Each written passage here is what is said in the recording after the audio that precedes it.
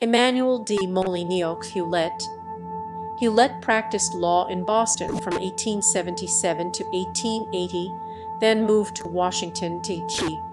In 1883 he was admitted to the bar of the United States Court of Claims and the United States Supreme Court Bar.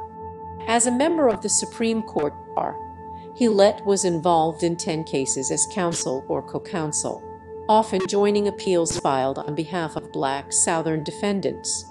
In Charley Smith v. State of Mississippi 162 U.S. 592 Dizon G. Gibson v. State of Mississippi 162 U.S. 565 Hewlett worked with attorney Cornelius J. Jones to argue that convicted murderers Smith and Gibson had been denied juries of their peers because the juries were in Brownfield v. North Carolina 189 U.S. 426.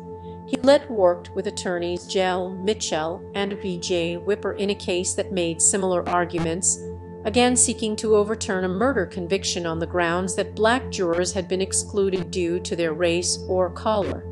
In the Ed Johnson case, in which Hewlett acted as co-counsel to Noah Parden, Parden made an argument on equal protection grounds that the trial of Ed Johnson, who faced the death penalty after a conviction for rape, had violated Johnson's constitutional rights, including through the exclusion of blacks from the jury.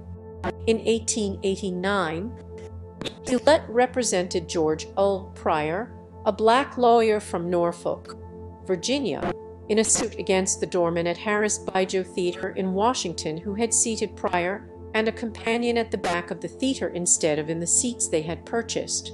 And in 1900 he was co-counsel in W.T. Ferguson's case against them.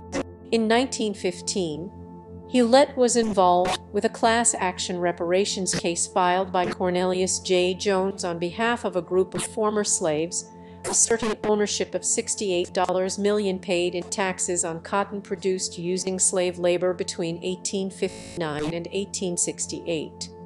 In November, Hewlett publicly declared that he sees no merit in the suit and was withdrawing from the case.